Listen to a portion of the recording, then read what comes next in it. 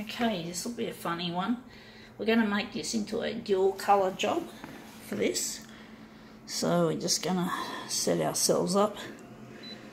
Okay, we're going to start with black and yellow.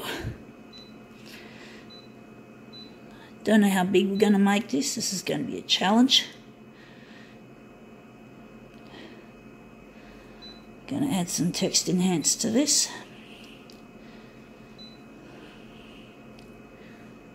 Going to leave it there. We're not going to touch that. This is a pure, an almost pure colour that we're, we've got, so we don't have to worry about making all these fine adjustments for it. So we're just going to leave it. Copy density. We're going to leave it. Just going to leave it. Going to just work out how big to make it. What is it? It is something I found and I salvaged, souvenired. It's off. It's a. It's a head off. No, the uh, lid off a shoebox. It's a shoebox lid, and we're going to use that as our demo piece. So we're just going to put it on the glass where the spider is, roughly. Hopefully, we can. We're just going to overlap it a little bit over the top. So we're just going to try and. This is not an easy one, folks and then working out how big we're going to enlarge the section that we want. We want to focus mainly on the spider of all things. So we're going to try and do some intuitive work here. So going to make it 350 that way. And for the vertical, we're going to make it 300 360. So let's see how that goes.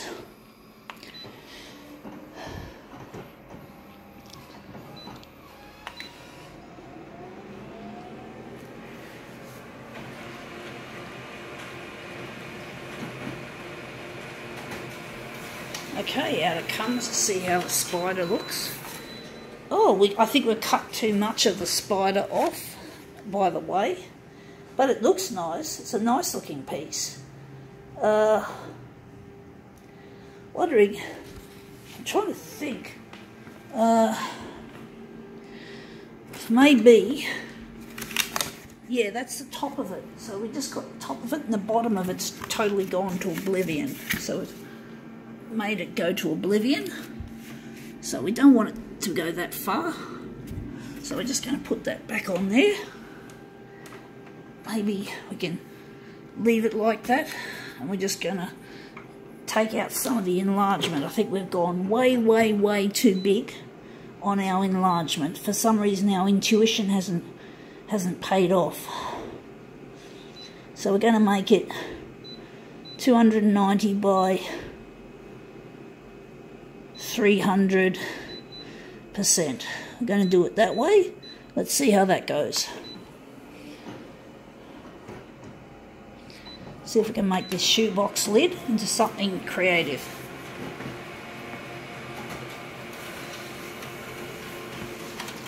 Okay, out it comes. Well, that's looking a lot better. So yeah, that's our that's our spider.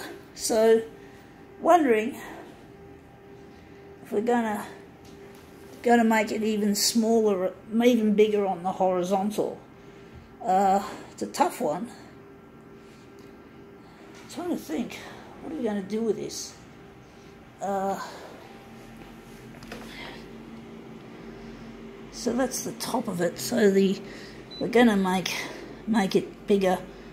I don't know how this is to work. So we're to make the horizontal 300 and just going to think 340. I don't know if this is going to work because we did enlarge it uh, along the horizontal and it was too big. Oh, I don't know. It's, it's a tough, it's a real tough one. Yeah, it's going that way. I'm just trying to work out which way the actual image is running. So we're going to maybe make it less enlargement. I fucking hate those input errors that you get when you do that. So I'm trying to think maybe on the trying to think on the horizontal we're going to make it 190 I got a feeling I'm going to have to move the original over a bit or do something to make it a better fit It's not easy trying to get this to look good. Trying to guesstimate the sizes and that. So let's see how this looks. Whoa, that looks interesting. But we now have the, the writing. We don't want that. We just want the shadow. We just want the shadow of the spider. So we've got to go back and make it a bigger size. So I'm wondering if we're going to have to slide this across, take up some of that blank space and somehow hope we can make this straight, even though we don't have that straight line against the edge of the glass, if you know what I mean. So we're going to do that and we're going to make the enlargement a lot bigger for the horizontal. So the horizontal is going to be, I think we're going to make it, we're going to make it 300, we're going back to 360. I think the vertical should be alright. So now let's see how we go. So this is not an easy one to do. But I hope you guys find my work entertaining when I do when I do sometimes make my demos a little prolongated. So that looks nice. I'm actually thinking maybe I should lift the spider up so we can have a bit less space. So we got it right on the horizontal, that looks good. So now we're just going to uh, lift it up a bit. We're going to try and stick it, keep it where, where, where we've got it on the horizontal as much as we can. So we're just going to lift that up again a bit further. So we just hope we don't overdo it. So now the vertical might need a little bit more or we're just going to try it as is and see how the vertical plays out and then we can make our mirror image we're going to turn this into a nice dual color mirror image so let's see how this goes yeah, that looks good. We got it's good that we've cut a bit of the top off. That makes it more creative looking composition. So we're just going to put these other pages away because I like this result. Now the other pages are falling down. Sorry folks. Oh, I just nearly cramped my calf muscle. So I'm wondering where the where the uh, trying to decide where to put the center of the image. I think that's going to be the center. I just push some of that stuff away. So that looks like it's going to be the centre of our job. So now we're just going to switch back to red. I know it looks a bit like the original, but I just like doing it. This is how I do it. So let's see how we go. A little bit tricky as a this demo, but it's come up better than I thought. So that's our red similar to the original, you could say, but it's going to be done differently. So I'm wondering if that's where our centre is going to be, is going to be there. But yeah, this is an interesting thing to work with. Good old Redback, red back shoes. So now we're just going to switch over to our mirror image button. We're going to switch that on.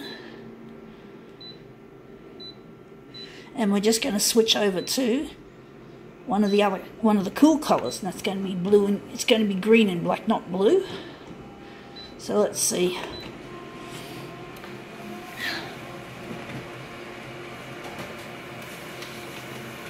so this has been a challenge but it looks like we've managed to rise to it so I'm going to put the green up in the top right corner and finally last but not not least on this demo, we're going to do the blue. The black and blue, which sounds like being beaten. Beat, black and blue. Indeed, that's an old Aussie saying, if I'm correct. I'll beat you black and blue.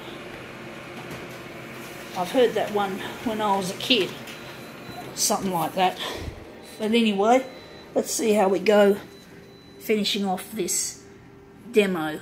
So let's just assemble the pieces. It's tricky trying to get them into place without nudging them out of, nudging other pieces out of position. So that's that one there. And this green one, right next to the Aussie colour, yellow, green and gold. So that's going to hopefully line up nicely. It's a little bit tricky trying to get these things to line up sometimes. Sorry, folks. I try to get things as accurate as I can. Anyway, so there we have it. A take on an Aussie brand of shoe. Gotta go.